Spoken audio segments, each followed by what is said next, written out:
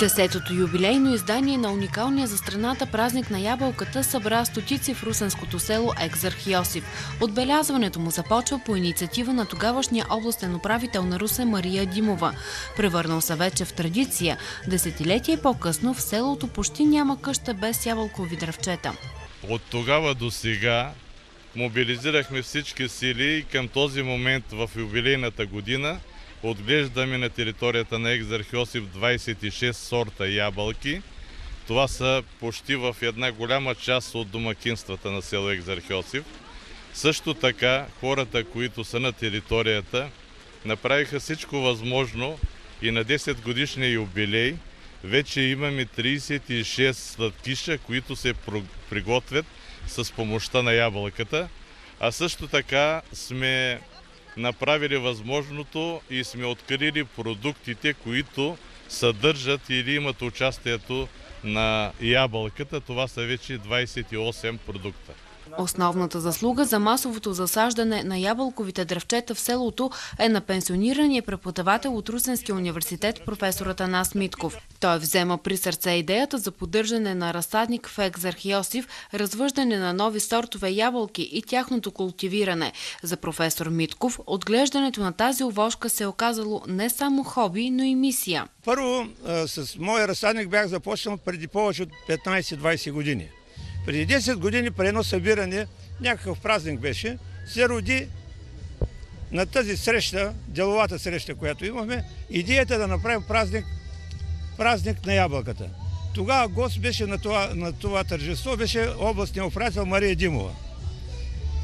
идеята дойде, като се появи идеята, тя предложи да бъде 15 август, това е Богородицата, тя е Мария, и се възприе така от всички, но тази идея подхвана много добре кмета Илия Данев. Значи без него не можехме нищо да направим. Аз поех ангажимента да разсадника да развивам и го бях развил добре. Бях го развил до около 10 декара разсадник, сега е 2 декара в момента. Понеже няма хора, с които да се работи. А, имах възможност да поддържам постоянна връзка с Овощарския институт в Пловдив. Там работи моя брат – е, чрез е, тази връзка уточнявах е, и поддържах информация за най-новите сортове. Значи тенденцията в овощарството отдавна върви към създаване на и използване на сортове, които са устойчиви на болести. За да имаме по-малко химия, да бъдат по-качествени и така нататък. И в моя разсадник това съм го поддържал. А, покрай мене, покрай разсадника, постепенно всички хора се запалиха, в смисъл започнаха да идват да търсят дръвчета, да питат, аз им разяснявам как да режат, как да пръскат, какви сортове да сложат. и така постепенно интересът, дори имаше едно раздаване на дръвчета безплатно, нали, бяхме раздали на, при един, разбира се, есенно време, когато е времето за това. И така много хора вече се научиха да си отглеждат дръвчета в дворовете. За професор Митков има няколко сорта, които са не само устойчиви, но изключително вкусни. Отскоро отглежда и нов сорт. В Европа го има този сорт. В България почти го няма, но аз вече го принесах да го имаме. Той е червен сорт, зимен и е устойчив на двете болести. Двете болести по ябълките, опасните са бращеста мъна и още една болест има, която изисква много пръскане. Другата болест се казва стропясване. В момента в разсадника съм намалил броя на сортовете, като съм запазил устойчивите. Другите, които не са така устойчиви, ги ограничих и почти ги изключих. Над 300 семейства в Екзархиосиф отглеждат в дворовете си ябълкови дръвчета. Сред хората с градини, разпростряла се на площ от 2 декара и половина е Димитър Борисов. След пенсионирането си той се отдава на отглеждането на дръвчетата грижещи за ябълкова градина, пък и каквато да е целогодишен труд. С изключение на зимния период, когато е завалял сняг. Значи есенно пръскане, пролетно пръскане с и следващи още 7-8 пръскания, за да се получи долу-горе резултат, е, който да задоволява производителя, а и купувача на пазара. Защото всички обичат хубавите ябълки. Отиват на пазар, искат хубави ябълки. Създаването на една овощна градина е като създаването на едно семейство. Бодваш дръвчето и му се радваш с години наред, докато почне да дава плод.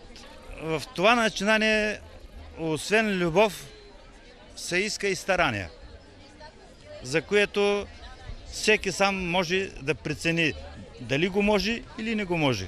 Все още обаче той и дребните производители като него срещат трудности при пласирането на готовата продукция.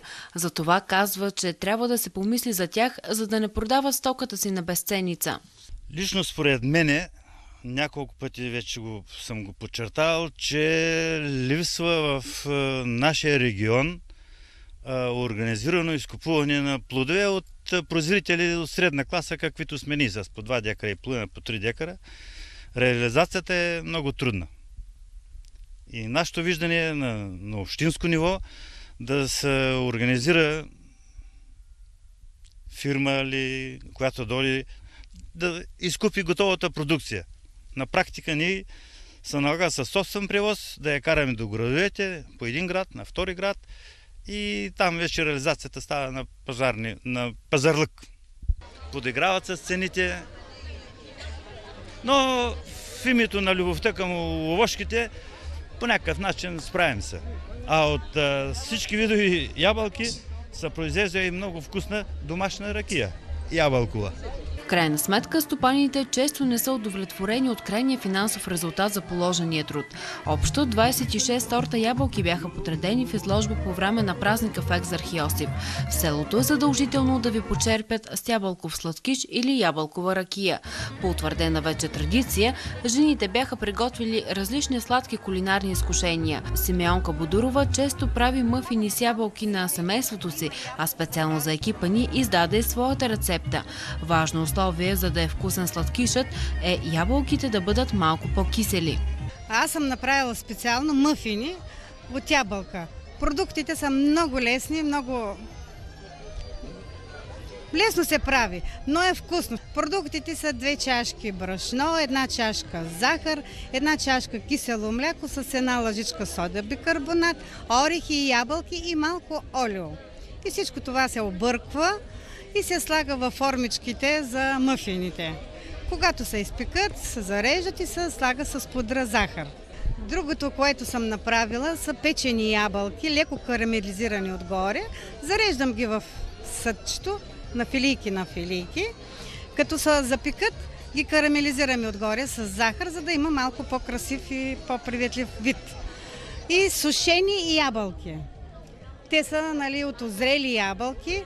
Цепим ги на много тъничко, слагаме ги на слънце да се изсушат и когато вече са готови, ги попарваме в вряща подсладена вода, за да няма черви и когато сме ги сушили, нали, са кацали по тях насекоми, за да се изчисти нали, това, да се остане вече чист продукта. И го прибираме, за зимата е много прекрасно за прясна консумация и да си направим селски ушав. Празникът на ябълката в Екзархиосиф продължи с богата фолклорна програма на самодейци от цяла Русенска област.